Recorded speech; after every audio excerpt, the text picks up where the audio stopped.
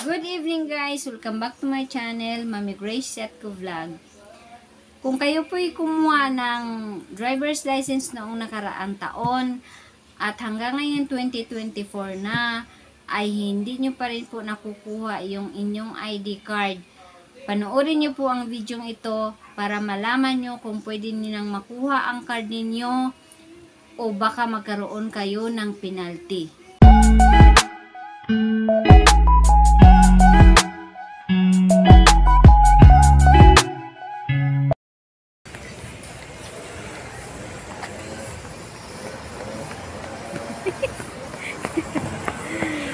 Ay, nako. Dito kami ngayon sa LTO Taguig. Kuhanin po namin yung aming card. Yung aming lisensya. Kasi schedule pala ngayon ay 3, 15 to 30. Yung lahat ng kumuha ng last year na yung June last year. Yun. Ngayon ang ano, ah, ngayon ang labas makikita na namin yung aming card, makukuha na namin yung aming card. Inaantay lang namin. Hanggang mamayang hapon pa kami dito guys. Ang number ko ay 98. Tapos yung hipag ko 99. Hanggang 100 lang daw. Hanggang 100 lang na claimers yata yung magki-claim ng ano hanggang 100 lang. Or hindi ko lang sure. Kasi parang marami pang magki-claim. Ang dami na kumukuha ng ano, ng driver's license ngayon. Ang haba ng pila. Ayan, nasa likuran ko. Ang haba-haba ng pila. Yan. Ah, mula yan dyan. Yan, hanggang doon. Yan.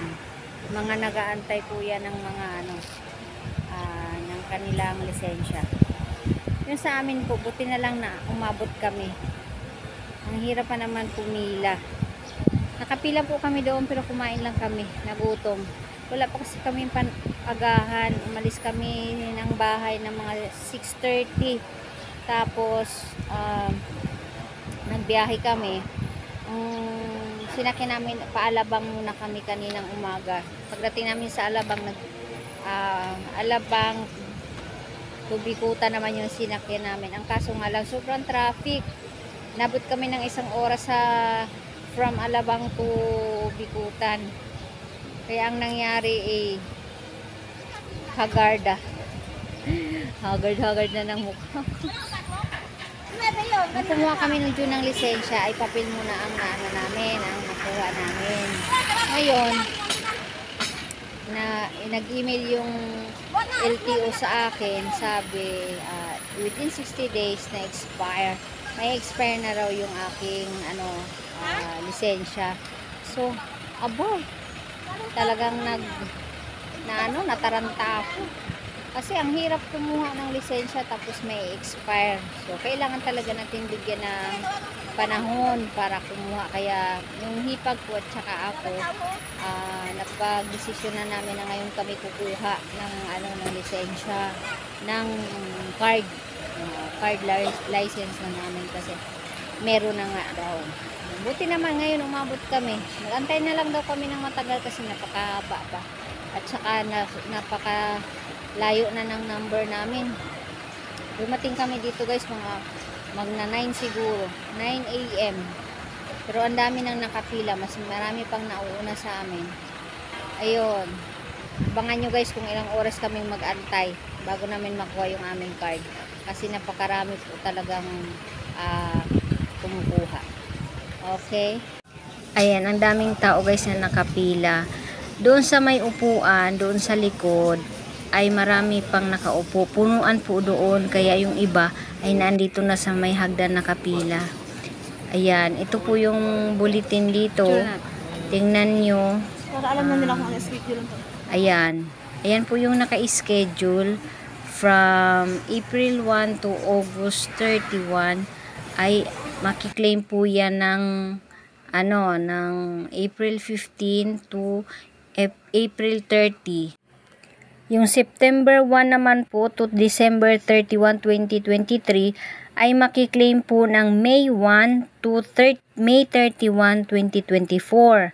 Tapos po yung mga papel pa noong January 1 to March 31, 2024, makiklaim po nila ng June 1 o June 30, 2024. Nakalagay po dyan na wala pang penalty kapag nasa ah, sakop pa sa kanilang deadline. Siguro po pagka hindi mo nyo po nakuha yun, ay magkakaroon na po yan ng penalty. Original. Original, pakita mo yung ID mo.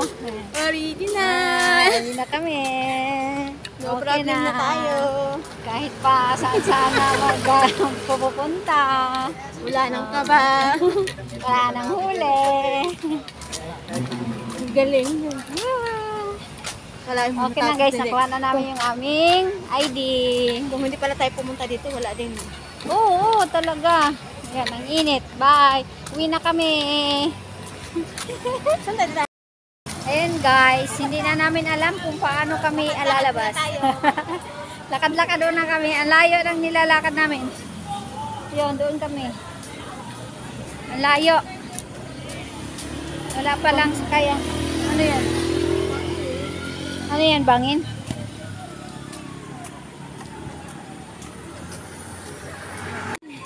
Lalakad muna kami. Lalakad kami ng malayo. Hindi namin alam kung saan ang palabas. Basta yung tinuro nila, sabi, Sa dulo. doon daw sa dulo, liliko sa kaliwa. Yun, maghanap kami ng mga tricycle na masakyan.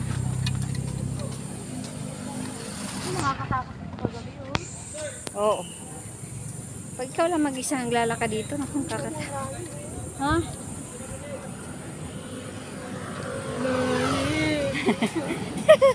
Ang lalim ng bangin. Nakatakot pala dito.